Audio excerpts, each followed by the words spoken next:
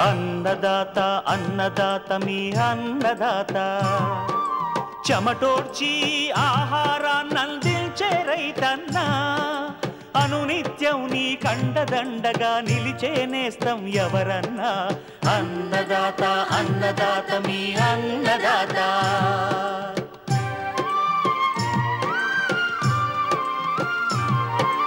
నూతన రీతుల సాగుబడికి నూరింతలు పెరిగే దిగుబడికి సూచనలిచ్చే సస్య రక్షణకు పశు పోషణకి శాస్త్ర విజ్ఞానం అందించి ముందుకు నడిపే తెలుగు రైతు భారతదేశానికి మకుటం అయ్యేలా తీర్చిదిద్దే ఆశయంతో మిమ్ము మేలు కొలిపేది అన్నదాత.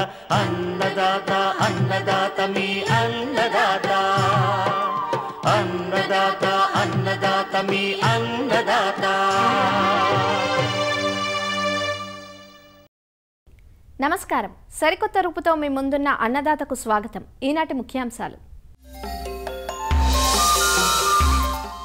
తేనెటీగల పెంపకంపై రైతులకు శిక్షణ.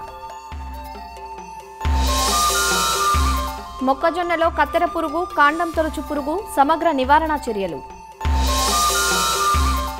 రబీలో సాగు చేసిన ఆరుతడి పంటల్లో కలుపు నివారణ.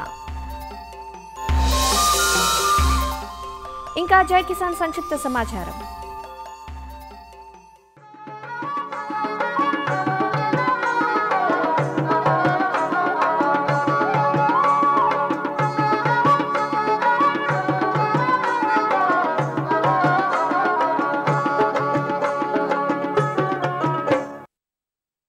మాగాణుల్లో విత్తుకున్న జొన్న మొక్కజొన్న పైర్లు ప్రస్తుతం మొలకెత్తు దశలో ఉన్నాయి. గత మూడు నాలుగేళ్ళుగా మొక్కజొన్న పైరును పీల్చి పిప్పి చేస్తున్న కత్తెర పురుగు ఈసారి వదలటం లేదు. ప్రస్తుతం మొక్కజొన్న పైరులోనూ జొన్న పైరులో కూడా కత్తెర పురుగు ఉనికి కనిపిస్తోంది. పురుగు ఉధృతమయ్యేదాకా ఉపేక్షించకుండా రైతులు తొలి దశ నుంచే సమగ్ర చర్యలు చేపట్టాలని శాస్త్రవేత్తలు నిపుణులు సూచిస్తున్నారు. గుంటూరు జిల్లాలోని తెనాలి ప్రాంతంలో పర్యటించిన గుంటూరు జిల్లా వ్యవసాయ శాఖ డిప్యూటీ డైరెక్టర్ ఎం శివకుమారి కత్తెర పురుగు నివారణకు పాటించాల్సిన సమగ్ర చర్యల గురించి తెలియజేస్తున్నారు. మొక్కజొన్న ప్రస్తుతం దాదాపుగా ఐదు రోజుల నుంచి కూడా కొన్ని చోట్ల మాత్రమే నలభై రోజుల వయసులో ఉంది. ఎక్కువగా పదిహేను ఇరవై ఐదు రోజుల వయసులో మొక్కజొన్న ఉంది. ఈ పాటికే మనకి కత్తెర పురుగు అనేది గమనించడం జరిగింది. రైతులు తెలుసో తెలియకో రెండు మూడు మందులు కలిపి ఒకేసారి వాడుతున్నారు. ఇక్కడ చాలామంది రైతులు ఏం చేస్తున్నారంటే నోవాల్ యువరాను ఎమామెక్టిన్ బెంజేట్ రెండు కలిపి వాడుతున్నారు. వీళ్ళల్లో కూడా మనం అవగాహన కల్పించాల్సిన అవసరం ఉంది. ఏదో ఒక మందు కొడితే చాలు. అదీగాక ముందే విత్తన శుద్ధిపై అవగాహన కూడా కల్పించాల్సిన అవసరం ఉంది. విత్తన శుద్ధి ఫోర్త్ ఎంజాడియో అనే మందుతోటి విత్తన శుద్ధి కనుక మనం చేసుకున్నట్లయితే దాదాపుగా ఇరవై రోజుల వరకు కూడా మనకి కత్తిరిపురుగు అనేది రాకుండా ఉంటుంది. ఒకవేళ అలా చేయలేని పరిస్థితిలో మనం ఇరవై రోజులకి ఎమామెక్టిం బెంజోయేట్ ఎనభై గ్రాములు ఒక ఎకరానికి చొప్పున పిచికారీ చేసుకుంటే సరిపోతుంది. రైతులు దాదాపుగా రెండు వందల గ్రాముల వరకు వెళ్తున్నారు. అలాగే రీమాన్ కూడా మన రీమాను ఇది రెండు కలిపి అది రెండు వందల ఎంఎల్ ఇమామెక్తిం బెంజేట్ రెండు వందల గ్రాములు ఇలా కొడుతున్నారు. దీనివల్ల ఏంటంటే పురుగు ఉధృతి పెరగటమే కానీ నిరోధక శక్తి పెంచుకొని తగ్గడం అనేది జరగదు. ఇరవై ఇరవై ఐదు రోజులప్పుడు దాదాపుగా కూడా మనకి లార్వా ఫస్ట్ సెకండ్ ఇన్స్టార్ స్టేజ్లోనే ఉంది ఇప్పుడు.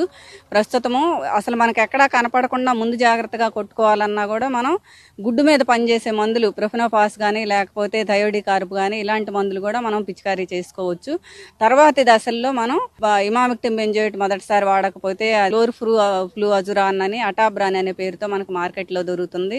దీన్నే మనం కైటిన్ ఇన్హిబిటర్ అంటాము. దాన్ని కూడా ఒక ఆరు వందల ఎంఎల్ వరకే అటాబ్రాన్ మందు వాడుకోవచ్చు. అలాగే స్పైనటోరం అని డెలిగేట్ అనే మందు ఉంది. అది ఒక వంద ఎంఎల్ వరకు కూడా మనం వాడుకోవచ్చు. మందు మార్చి మార్చి వాడుకుంటే మంచిది.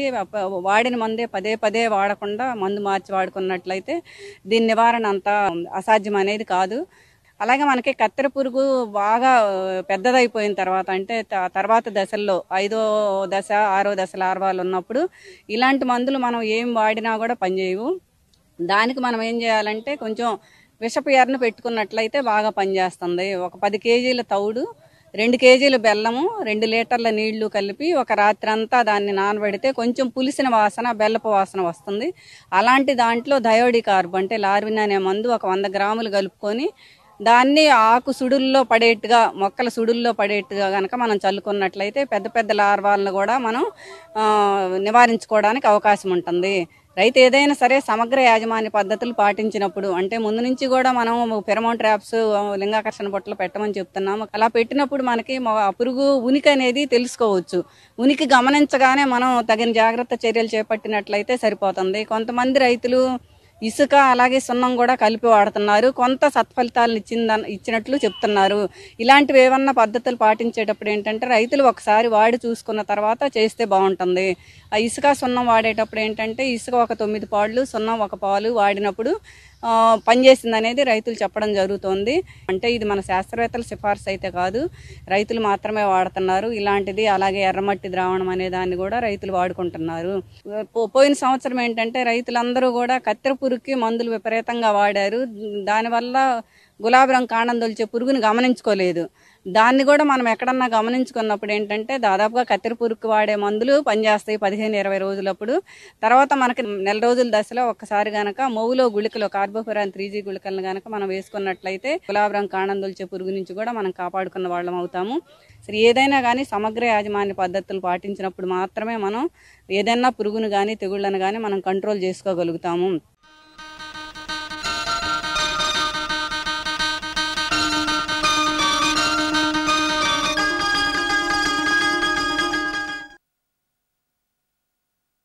ప్రకృతిలోని అమూల్యమైన వనరులలో తీయని తేనెను ప్రసాదించే తేనెటీగలను మానవజాతి పాలిట వరప్రసాదంగా చెప్పుకోవచ్చు.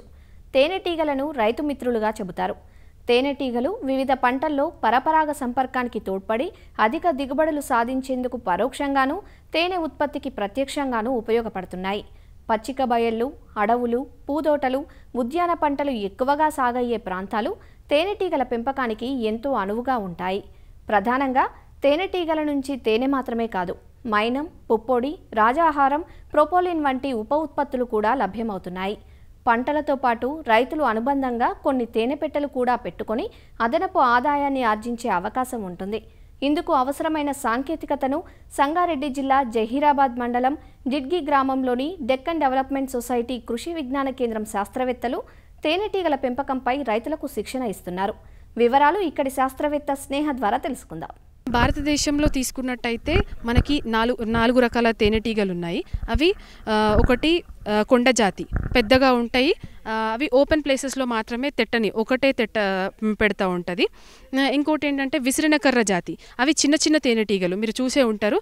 చిన్న చిన్న కొమ్మలకి అలా పెడతా ఉంటాయి. తర్వాత మనకి భారతీయ జాతి. పుట్ట జాతి అని కూడా అంటారు. నెక్స్ట్ ఇంకోటి ఏంటంటే ఐరోపా జాతి యూరోపియన్ బీ అని అంటాం. ఇది వెస్టర్న్ హనీ బీ అని కూడా అంటారు. ఈ కింద అంటే ఇప్పుడు ఈ భారతీయ జాతి ఇంకా యూరోపియన్ బీ ఈ రెండు మనము పెంచుకోవచ్చు అనమాట పెంచడానికి అనుకూలంగా ఉంటాయి. ఒక బాక్స్ ఒక కాలనీ. అయితే ఒక కుటుంబం తీసుకున్నట్టయితే దీంట్లో ఒక రాణి ఈగ వందల కొద్దీ మొగ ఈగలు తర్వాత వెయ్యిల కొద్దీ కూలి ఈగలు అనేవి ఉంటాయన్నమాట. రాణి ఈగను తీసుకున్నట్టయితే దాని జీవితకాలం వచ్చేసి మూడు సంవత్సరాలు. వాతావరణం గనక అనుకూలంగా ఉంటే ఒక్క రోజులో పదిహేను వందల గుడ్లు పెట్టగలుగుతుంది. తర్వాత కూలి ఈగలు తీసుకున్నట్టయితే ఇవి ఆరు వారాల వరకు మాత్రమే బతుకుతాయి. మూడు వారాల తర్వాత బయటకి వెళ్ళి మకరందాన్ని తేనెని సేకరించుకొని వచ్చి తేనెని తయారు చేస్తూ ఉంటుంది. తేనెటీగల యాజమాన్యం చూసుకున్నట్టయితే ఎప్పుడైనా సరే ఒక మనం స్టార్ట్ చేయాలి అనుకుంటే ఫైవ్ బాక్సెస్తో స్టార్ట్ చేయండి. ఒక యూనిట్ అని అంటే పది బాక్సులు అంటాం జనరల్గా. ఈ పది బాక్సులని మనం పెట్టుకోవాలి అని అనుకున్నప్పుడు ఫస్ట్ మంచి ప్రాంత ప్రాంతాన్ని మనం ఎంచుకోవాలి. అది ఏ ప్రాంతం అంటే మంచి పువ్వులు కలిగి ఉండాలి మన పంటలు కావచ్చు ఒకవేళ అటవీ చెట్లు కావచ్చు ఏవి తీసుకున్నా ఆ పంటలు కూడా మకరందం ఇంకా పుప్పొడిని ఉత్పత్తి చేసే చెట్లు అయ్యి ఉండాలన్నమాట. ఇది ఎక్కడెక్కడ ఏమేమి ఉన్నాయి ఏ ప్రదేశ ప్రదేశాలలో ఏవి పెరుగుతున్నాయి అనే దాన్ని బట్టి బాక్స్ని షిఫ్ట్ చేసుకోవడం అనేది జరుగుతుంది. బాక్స్ ఎప్పుడైనా కూడా సూర్యుడి దిశలో పెట్టుకోవాలి. ఎప్పుడైనా బాక్స్ అంటే బీస్ సూర్యుడు వచ్చిన దాన్ని బట్టి మూవ్ అవుతూ ఉంటాయి అనమాట బయటకి. ఇదొకటి చూసుకోవాలి. పూత ఎక్కడుంటే పూతకి ఆ పూత సైడ్లో మనం పెట్టుకోవాలన్నమాట. ఇదొకటి. ఇంకా బాక్స్ కంప్లీట్గా తీసుకున్నట్టయితే మనకి బయట ఏడు వేల రూపాయల్లో దొరుకుతుంది. అందులో దాంట్లో ఎనిమిది ఫ్రేమ్స్తో ఫుల్ పీస్తో కలిపి ఇంకా స్టాండ్ షుగర్ ఫీడర్ ఇవన్నీ కలిపి ఇస్తారనమాట బాక్స్ యాజమాన్యం చేసే ముందు కూడా మనం కొన్ని దుస్తులు అనేటివి వేసుకోవాలి గ్లౌజెస్ అనేవి వేసుకొని జాగ్రత్తగా చేసుకోవాలి. బాక్స్ తెట్టల యాజమాన్యం ఎలా చేసుకుంటామంటే తెట్ట అంటే ఫ్రేమ్ని తీసేటప్పుడు పక్కన ఫ్రేమ్కి తా- తాకకుండా జాగ్రత్తగా తీయాలి. ఆ తర్వాత ఈ బాక్స్ని తీసి రాణి ఈగ ఎలా పనిచేస్తుందనే చూసుకోవాలి. కూలి ఈగలు బయటకి వెళ్తున్నాయా లేదా? ఇదొకటి చూసుకోవాలి. ఇంకోటి ఏంటంటే బాక్స్ కింద క్లీన్గా ఉందా లేదా? అంటే కొన్నిసార్లు ఏంటంటే మనం పట్టు పురుగు అంటాం. ఆ పట్టు పురుగు ఏంటంటే బాక్స్లో ఉన్న సందులల్లో తర్వాత బాక్స్ కొనలలో గుడ్లు పెడుతుంది తర్వాత కోశిష్ట దశ అనేది దానిలో పెడుతూ ఉంటుంది. అదేమైనా జరుగుతుందా లేదా అనేది జనరల్గా చూసుకుంటూ ఉండాలి. తర్వాత ఏంటంటే బాక్స్కి కిందట నీళ్ళు పెట్టాలన్నమాట. అంటే ఒక లోతుగా లేని పల్లం తీసుకొని దాంట్లో నీరు పోసి బాక్స్ స్టాండ్స్ నాలుగు వైపులా పెట్టాలి. మనకి జనరల్గా నాలుగు సీజన్స్ ఉంటాయి. నాలుగు సీజన్స్లో మంచి హనీ ఒకవేళ మన పరిసరాలన్నీ సపోర్ట్ చేసినట్టయితే మంచి దిగుబడి వస్తూ ఉంటుంది. ఒక యూనిట్ అంటే పది బాక్సులు. పది బాక్సుల నుంచి మనం జనరల్గా ఐరోపా జాతిని తీసుకుంటే దానికి నూట యాభై నుంచి రెండు వందల కేజీల హనీ మనం తీయొచ్చు సంవత్సరానికి. ఇంకోటి ఏంటంటే ఈ బాక్సులు కానీ ఇప్పుడు ఈ తేనెటీగల శిక్షణ తీసుకున్న తర్వాత ఇంత ఖర్చు అని అనుకున్నప్పుడు మనకి గవర్నమెంట్ నుంచి స్కీమ్స్ కూడా ఉన్నాయన్నమాట. అవి దేని నుంచి అంటే కేవీఎస్సి ఖాదీ విలేజ్ ఇండస్ట్రీస్ వాళ్ళ నుంచి కూడా ఇంకోటి ఏంటంటే నేషనల్ బీ బోర్డ్ నుంచి కూడా మనకి forty to sixty percent off అంటే ఆ సబ్సిడీ అంత సబ్సిడీ కూడా ఇస్తున్నారనమాట సో ఇలా కూడా స్టార్ట్ చేసుకోవచ్చు బీ కీపింగ్ అనేది.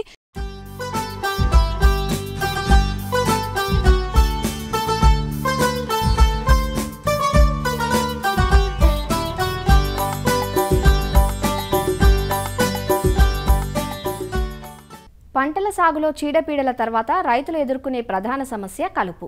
కలుపు మొక్కలను నిర్మూలించటానికే సాగు పెట్టుబడిలో ముప్పై నుంచి నలభై శాతం ఖర్చవుతున్న రోజులివి అంతేకాదు ఈ కలుపును సకాలంలో నిర్మూలించకపోతే పంట దిగుబడులు దాదాపు నలభై శాతం వరకు తగ్గిపోయే ప్రమాదం ఉంటుంది.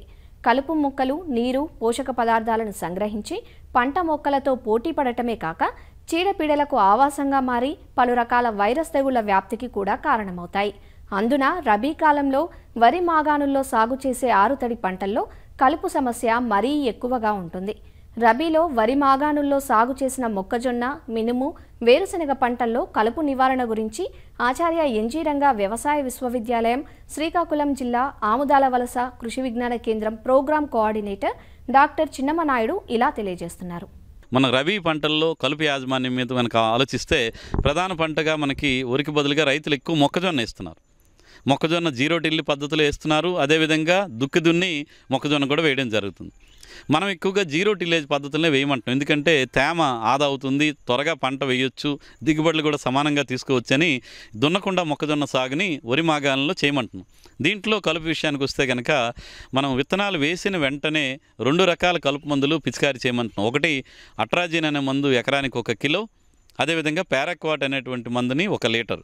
ఈ అట్రాజిన్ ఏంటంటే కలుపు రాకుండా చేస్తుంది. పారాక్వాట్ ఏంటంటే అప్పటికే ఉన్నటువంటి కలుపు అలాగే వరి మాగాలంలో ఈ వరి దుబ్బులు మరలా మొలకెత్తినప్పుడు వాటిని నాశనం చేయడానికి పారాక్వాట్ ఉపయోగపడుతుంది కాబట్టి అట్రాజిను పారాక్వాట్ని ఈ జీరో టిల్లేజ్ మొక్కజొన్నలో తప్పనిసరిగా పిచికారి చేసుకోవడం చేయాలి. ఒకవేళ దున్నేసి వేసిన మొక్కజొన్న అయితే కనుక విత్తనాలు వేసినటువంటి మరుసటి రోజు తేమ ఉండేటప్పుడే అట్రాజిన్ అనే మందుని ఒక ఎకరానికి ఒక కిలో రెండు వందల లీటర్ల నీటిలో కలిపి పిచికారీ చేసుకుంటే దున్నినటువంటి మొక్కజొన్నలో కూడా కలుపు సమర్థవంతంగా నివారించబడుతుంది. ఇరవై రోజులు ముప్పై రోజుల సమయంలో కనుక అన్ని రకాల కలుపులు ఉంటాయి ఒకవేళ కూర జాతులు గడ్డి జాతులు మొక్కజొన్నలో ఉంటే ఇరవై నుంచి ఇరవై ఐదు రోజుల సమయంలో టెంబోట్రీ అనే పేరుతో ట్రేడ్ నేమ్ లాడీస్ అనే పేరుతో దొరుకుతుంది. ఇది కనుక మనం ఎకరానికి నూట పదిహేను మిల్లీలీటర్లు కనుక మనం కలిపి పిచికారీ చేస్తే చాలా వరకు అన్ని రకాల కలుపు కూడా నివారించుకోవడానికి ఆస్కారం ఉంటుంది. వరి మాగాణుల్లో అపరాలు ఎక్కువగా ఉంటాయి. పెసరా ఉంటుంది మినుము ఉంటుంది. ఇప్పుడు ఈ పెసరా మినుములో బాగా పనిచేసేటువంటి కలుపు మందులు అందుబాటులో ఉన్నాయి.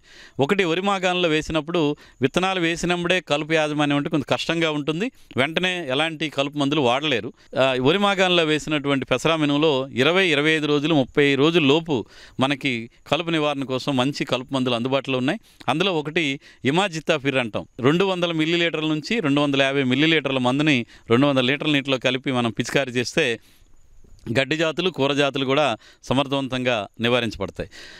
అలాగే ఇక్కడ ఉత్తర కోస్తాల్లో చూసుకుంటే రంగం మినుము అని చెప్పేసి ఒక కొత్త రకమైన కలుపు ఎక్కువగా సమస్యగా ఉంటుంది. ఈ రంగం మినుము అయితే కనుక ఈ పర్ష్యూట్ మందుతో కంట్రోల్ అవ్వదు. దీనికోసం ఐరిష్ అనేటువంటి మందు క్లోడినోపాప్ పైపర్ జెల్ అని చెప్పేసి ఇసిఫ్లోరెఫన్ అనే పేరుతో ఈ మార్కెట్లో దొరుకుతుంది.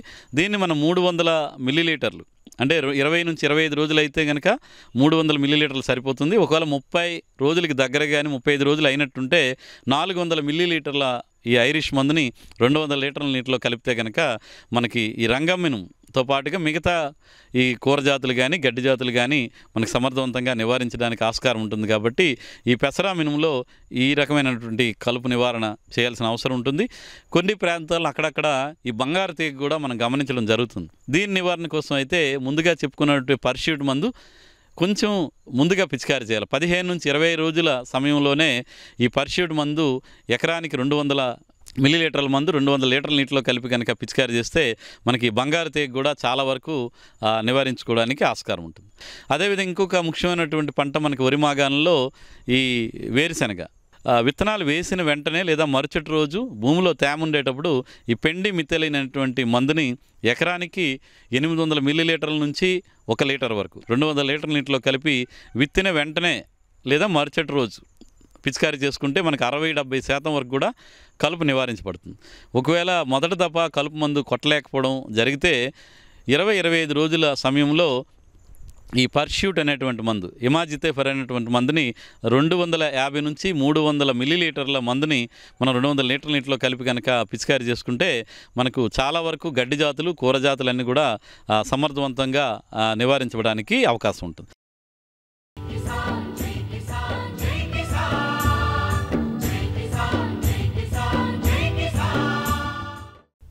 తెలుగు రాష్ట్రాల్లో సాగు రంగపు తీరుతెన్నులు విశేషాలను ఇప్పుడు జై కిసాన్లో చూద్దాం.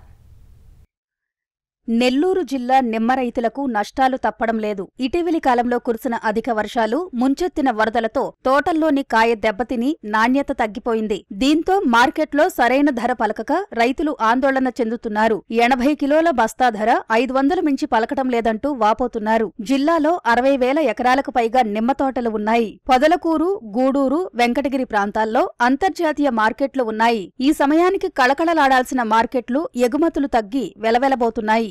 చేతి డబ్బులు బాగొట్టుకొని కొట్లు చుట్టూ తిరిగి వాళ్ళకి వ్యాపారాలు లేక మమ్మల్ని మా నాన్న బాధలు పెడతా ఉంటారు. మాకు కూలి మూడు వందలు. కోస్తే ఒక బస్తా కోస్తారు ఏడుకి చేరాలంటే వంద ఏడు చూడపోతే నాలుగు వందలు మా చేతి డబ్బులు మా బాధలు ఇవి మాకు కనీసం వెయ్యి రూపాయలు అమ్మితే మాకు ఎలాంటి ఇబ్బంది లేకుండా కూలోడికి ఇబ్బంది లేకుండా నిలబడుతుంటే ఏ ఏ పని చేయగలుగుతాం ఇంత దారుణం అయింది ఎప్పుడూ లేదు. ఈ నిమ్మకాయల రేట్ ఎత్తుకుంటే ఈ పొండుకాయలు అనేది ఇప్పుడు వంద రూపాయల నుంచి మంచి కాయలు ఐదు వందల వరకు పలుకుతా ఉంది రేటు. దీనివల్ల రైతుకు దారుణమైన పరిస్థితి తప్ప నష్టాలు తప్ప ఆదాయం ఏం లేదు సార్. ఈ లాక్డౌన్ స్టార్ట్ అయినప్పటి నుంచి మరీ భయంకరంగా రేటు పడిపోయి ఈ కరోనా ఎఫెక్ట్తో రేటు బాగా భయపడింది సార్. కనీసం మినిమం ఎట్లేదన్నా కానీ రెండు వేలు మూడు వేలు కానీ ఉంటేనే గిట్టుబాటు అవుతుంది సార్. కూలీలు రేటు పెరిగిపోయినాయి సార్. మూడు మూడు యాభై నాలుగు వందలు లేదా కానీ ఆడ మనిషి కైలు కావట్లేదు సార్. ఆటో బాడుగులు విపరీతంగా పెరిగిపోయి పెట్టుబడి పెరిగిపోయినప్పుడు లాస్ రాక ఇంకేం చేస్తుంది సార్. గవర్నమెంట్ కొంటాం అంటున్నారే కానీ అది ఇంకా ఏం అమ్మలకి రాలేదు సార్ అది. నిమ్మకాయలకు చెట్లు చేయాలంటే చాలా పెట్టుబడులు అయిపోతున్నాయి. తవ్వకాలేవి నీళ్ళేమి వాటికి మంచి చెడ్డ అన్ని చాలా ఖర్చు అవుతుంది ఏడుకి కనీసం బస్తా వచ్చి వంద రూపాయలు నూట యాభై రూపాయల నెలకు వాటికి వేసుకొచ్చిన లగేజీలకు రావడంలే కూలీలకు కూడా రైతులకు చేతి పడుతున్నాయి చాలా ఇబ్బందికరంగా ఉంది. కూలీలకు గిట్టుబాటు కాక కాయలు వదిలేసి చెట్ల కింద జానడితో రాలిపోయి ఉన్నాయి. నిమ్మ రైతులతో పాటు వ్యాపారులకు మార్కెట్ ప్రతికూలంగా మారింది. కాయల నాణ్యత తగ్గడం వల్లే ఎగుమతి చేయలేని పరిస్థితి వచ్చిందని నాణ్యమైన కాయకు మంచి ధర పలుకుతుందని వారు చెబుతున్నారు. ఈ సంవత్సరం కురిసినటువంటి వర్షాల వల్ల తోటలు లేకపోవడానికి దారులు లేక కోసేదానికి అవకాశం లేక రెండు నెలలు కంటిన్యూగా వర్షాలు పడి ఈ రోజు కూడా కొంత పొలాల్లో నుంచి దారి ఏర్పాటు లేదు. ఆ కాయలు సకాలంలో కొయ్యలేక రెండు నెలలు లేట్ అయింది. రెండు నెలలు లేట్ అయినందువల్ల కాయలు బాగా ఓవర్ సైజ్ అయిపోయి ఎక్కువ నీరు చేరి ఈరోజు ఎక్స్పోర్ట్కి ఉపయోగపడడం లేదు. ఇప్పుడు కొంచెం తయారు కాకుండా ఇంకొక నెల రోజుల్లో కటింగ్ చేయబోయే కాయ ఉంటుంది. అటువంటి కాయ అయితే ఈరోజు మార్కెట్లో బాగానే ఉంది.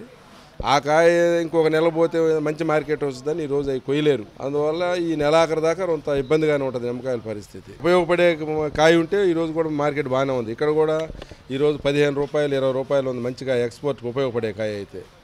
ఎక్స్పోర్ట్కి ఉపయోగపడిన కాయ ఈరోజు ఐదు రూపాయలకు కూడా కష్టం ఉంది కేజీ.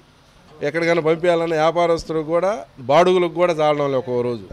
అక్టోబర్ నవంబర్ మాసాల్లో కురిసిన అధిక వర్షాలతో కాయల్లో నాణ్యత లోపించడంతోనే ధరలు తగ్గాయని మార్కెటింగ్ శాఖ అధికారులు చెబుతున్నారు. ఇదే పరిస్థితి కొనసాగితే అధికారులతో సంప్రదించి రైతులకు న్యాయం జరిగేలా చూస్తామంటున్నారు. వంకాయ ధరలు తగ్గడానికి మెయిన్ కారణము రీసెంట్గా వర్షాలు బీభత్సంగా కురిశాయి.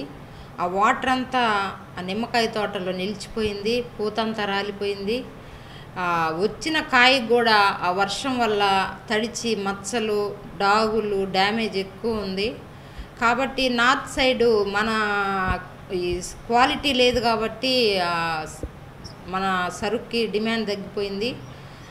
దానివల్ల రేట్లు చాలా వరకు తగ్గి తగ్గడానికి కారణంగా చెప్పుకోవచ్చు. ఇంకా ఉన్న సరుకు అంతా ఎక్కువ సౌత్ పోతుంది. ఇంకా రాబోయే రోజుల్లో పెరగడానికి అవకాశాలు ఉన్నాయి. ఫర్దర్గా ఇదే పరిస్థితి కంటిన్యూ అయితే మాత్రం గవర్నమెంట్ దృష్టి తీసుకెళ్ళి వారికి న్యాయం చేయడానికి చర్యలు చేపడతాము. తగ్గిన ధరలకు తోడు కరోనా మూడో దశ ప్రభావం మార్కెట్పై పడుతుందనే భయం నిమ్మ రైతులను ఆందోళనకు గురిచేస్తోంది ఇలాంటి సమయంలో ప్రభుత్వ చేయూత తప్పనిసరంటూ రైతులు కోరుతున్నారు. గత నాలుగు రోజులుగా ఉపరితల ద్రోణి ప్రభావంతో కురుస్తున్న అకాల వర్షాలు తెలుగు రాష్ట్రాల రైతులకు కంటిమీద కునుకు లేకుండా చేశాయి. చీడపీడలతో దిగుబడులపై ఆశలు సన్నగిలిన రైతులను ఈ వర్షాలు మరింత కుంగదీస్తున్నాయి. ముఖ్యంగా కృష్ణా జిల్లాలో అకాల వర్షాల ధాటికి పలు ప్రాంతాల్లో మామిడి పూతలు రాలిపోయాయని రైతులు ఆందోళన చెందుతున్నారు. ఇప్పటికే పూతలు ఆలస్యమై వచ్చిన పూతలకు చీడపీడలు ఆశించడంతో వేలల్లో ఖర్చు చేశామని ఇలాంటి తరుణంలో అకాల వర్షాలు తమ ఆశలను ఛిద్రం చేశాయని వాపోతున్నారు. ఇప్పుడు కురిసిన వర్షం వల్ల పూత దశలో ఉన్నది మొత్తం నేలపాలు అయిపోతుంది. గడిచిన రెండు సంవత్సరాలు కూడా ఏమీ లేదు. కాపు. ఇప్పుడు ఇంకా వర్షాలు పడితే ఇంకా తీరని నష్టం జరుగుతుంది. ఈ సంవత్సరం వర్షాల వల్ల పూత రాలిపోతుంది. వర్షం పడితే మళ్ళీ మళ్ళా వస్తే పూత వస్తుంది లేకపోతే పూత రాదు ఇక. నూజివీడు డివిజన్ పరిధిలో సుమారు నలభై వేల హెక్టార్లలో మామిడి సాగులో ఉంది. నూజివీడు ముసునూరు విసన్నపేట తిరువూరు తదితర మండలాల్లో ఇప్పుడిప్పుడే పూత కనపడుతున్న నేపథ్యంలో అకాల వర్షాలు దిగుబడులపై తీవ్రంగా ప్రభావం చూపే అవకాశముందని రైతులు ఆవేదన వ్యక్తం చేస్తున్నారు. ఈ వర్షం వల్ల పూత అంతా రాలిపోయి నష్టమే. నిన్నే మందు కొట్టాం మళ్ళీ ఈరోజు పడనే పడింది వర్షం. దీనివల్ల కూడా ఎంతవరకు వస్తుందో ఏమో తెలియదు నష్టమే కానీ లాభం అయితే లేదు. ముందు కొట్టాం కూడా తేను బంక పడిపోయింది దాంట్లో. రైతులు కూడా చాలా దెబ్బతిని ఉన్నాం. మినుము కూడా పోయినాయి ఈ సంవత్సరం. ఇప్పుడు పడిన వర్షానికి కూడా దెబ్బే మళ్ళీ మాకు. రైతులు బాగా దెబ్బతిన్నాం దానికి ఏదన్నా చేయండి సహాయం చేయండి. కరోనా ఆంక్షలతో గత రెండు సీజన్ల నుంచి తీవ్రంగా నష్టపోయిన రైతులు ఈ సంవత్సరము గడ్డు పరిస్థితులను ఎదుర్కోవలసి వచ్చేలా ఉందని ఆందోళన వ్యక్తం చేస్తున్నారు. మరిన్ని విభిన్న అంశాలతో రేపటి అన్నదాతలో మళ్ళీ కలుసుకుందాం. అంతవరకు సెలవు నమస్కారం. అన్నదాతలు తమ సందేహాలు సమస్యలను ఒకటి ఎనిమిది సున్నా సున్నా నాలుగు రెండు ఐదు నాలుగు సున్నా ఎనిమిది ఐదు టోల్ ఫ్రీ నెంబర్లో ఉదయం పది గంటల నుంచి పదకొండు గంటల మధ్య పని దినాల్లో సంప్రదించగలరు. ఈ కార్యక్రమాన్ని ఈటీవీ విన్ మొబైల్ యాప్లోనూ వీక్షించండి.